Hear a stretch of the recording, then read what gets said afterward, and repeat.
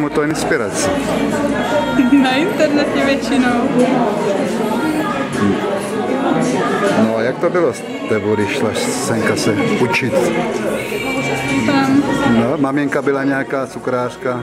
maminku k tomu vedla babička a mě to doma tak chytlo, že jsem, že mě to nedalo a musela jsem jít sem na školu. Je to tady fakt výborné. Nemůžu si to vynachválit. Od, odkud jsi ze Strážnice? Ze Strážnice. Monika Frolková. Ano, Cukrářka. Kolikátým ročníkem? teď druhým. Druhým ročníkem. Tak děkuji. Toto je tvůj... Ukažte, co je tvoje. Já bych řekla, že tady to celé je moje.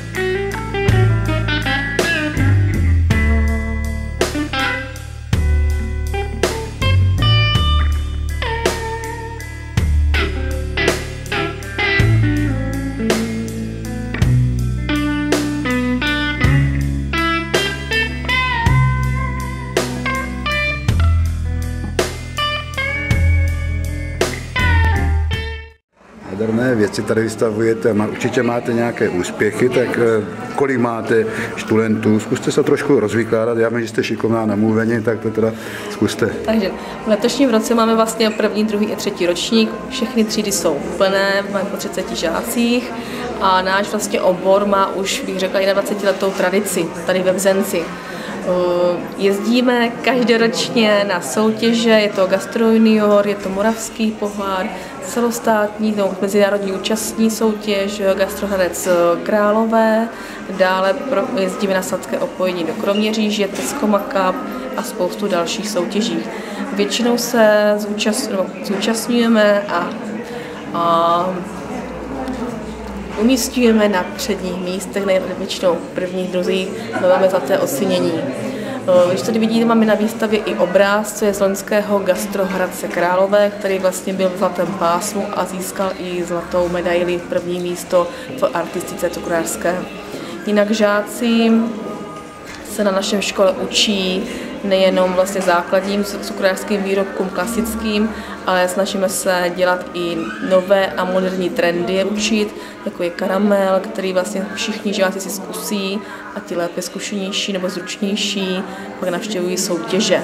Dále máme i čokoládové bombony z belgické čokolády, ruční bombony, Samozřejmě i v dortech sledujeme moderní trendy, aby žáci vlastně neustále šli dopředu a nezůstali pozadu.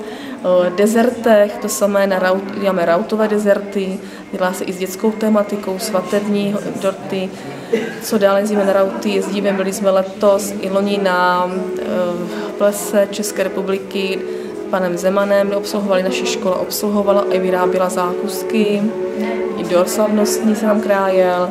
Jezdíme do eh, Lhačovic, tam byl taky nějak, myslím, že Filharmonie tam měla ples. Takže to takové to i prestižní akce. No je to krásné, já sem chodím každý rok, já jsem zdejší, tak já to nevynechám nikdy. A co tady nejvíc obdivujete? No, obdivuju šikovné ruky těch děvčat, kteří, kteří to dovedou toto všecko udělat. Takže je to dlouhodobě, říkáte, už kolik roku tady chodíte, tak je to, furt je to krása. Pořád je to pěkné, pořád je to co vidět, vždycky něco nového, zase tu přibude a je to opravdu výborné.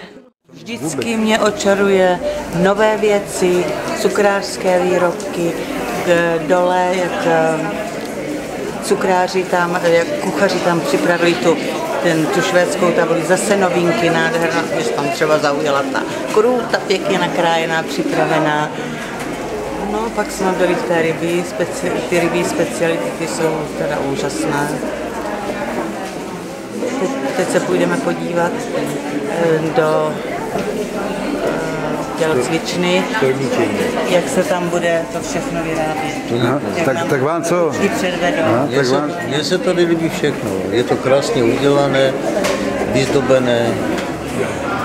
A ještě bych chtěla zdůraznit, že jsou eh, velmi pěkné a vkusné ty pětinové doplňky od zahradníků, ty, ty vazby.